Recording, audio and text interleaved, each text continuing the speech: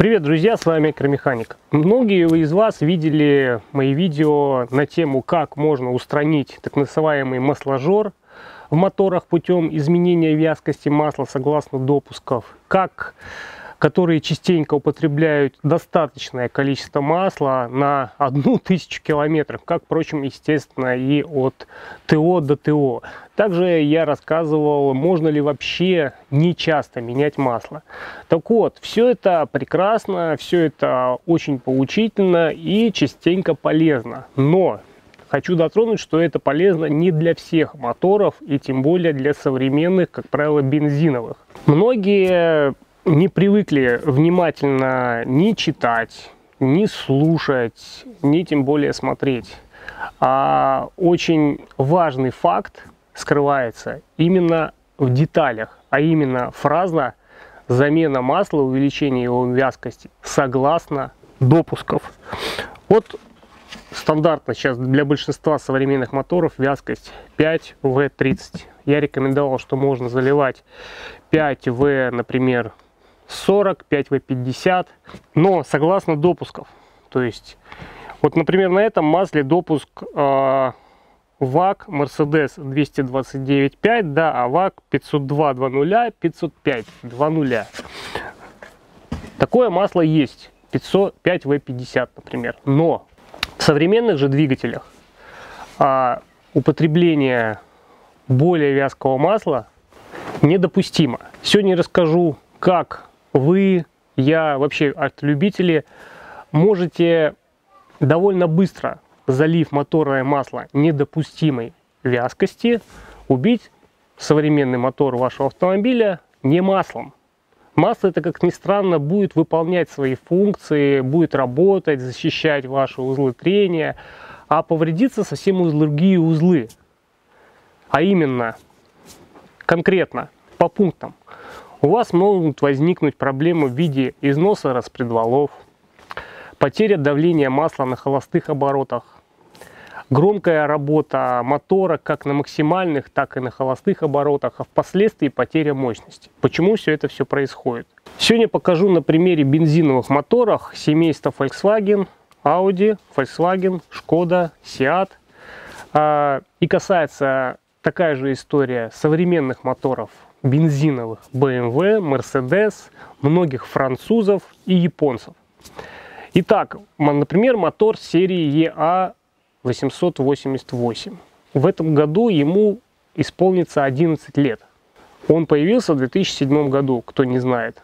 Все поколения этих моторов, их вариаций было огромное множество. Модификаций, вариантов исполнения.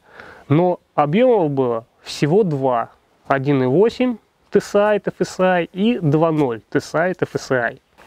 Кстати, предыдущий мотор этого поколения еще с современным приводом, хоть и страдал масложором, но э, те узлы, о которых я сегодня вам расскажу, у него либо отсутствовали, либо имели другую конструкцию. Поэтому, например, у него можно лить вообще любое масло. При холодном запуске, особенно в минусовую температуру, на современных моторах страдают при неправильной вязкости масла сетки, которые сейчас есть у всех моторов современных, балансирных валов, которые сминаются, их перекашивает в капсуле, в пластиковой обойме, и они закупоривают масляный канал. Что приводит, в принципе, к масляному голоданию на холостых оборотах и недостаточному давлению в натяжителях цепей. Чем это чревато, я думаю, все вы понимаете. Все регуляторы масляного давления, головки блока в частности, фазовращателей тоже имеют довольно нежные сетки для отсеивания мелких частиц.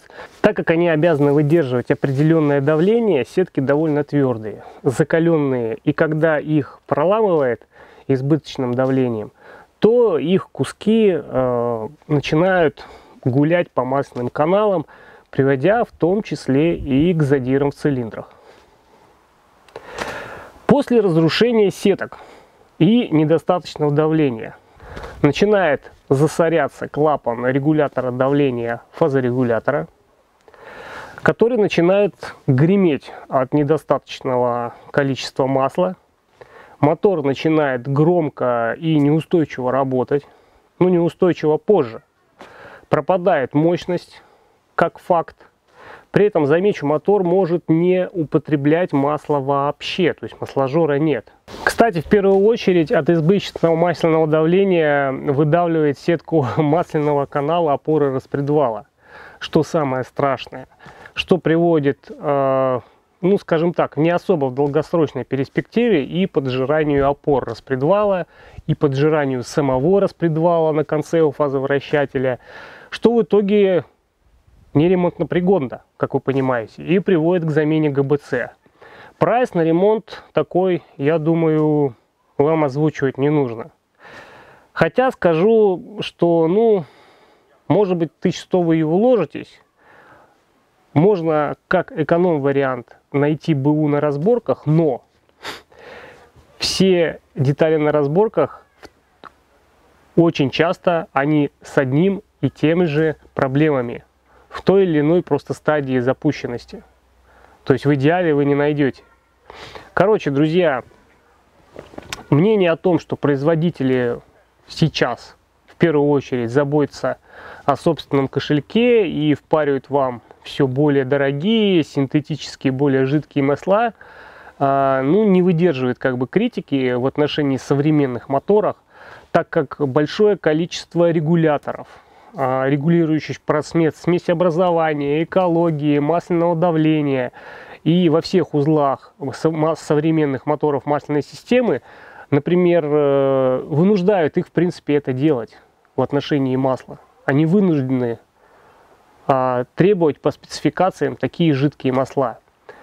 А, вообще, например, тренд 2018 года в современном двигателестроении – как вы понимаете, это летая ГБЦ вместе впускным и выпускным коллектором. То есть все идет к тому, что ГБЦ будет не ремонтопригодна, как таковая, совсем. И тогда, ну вы поняли. В общем, на сегодня все, я заканчиваю. Соблюдайте допуски, не допускайте самодеятельности в выборе масел для своих моторов. А владельцы моторов ну, до 2007 года выпуска могут, в принципе, спать спокойно. С вами был Акер Механик. Всем спасибо и удачи, друзья!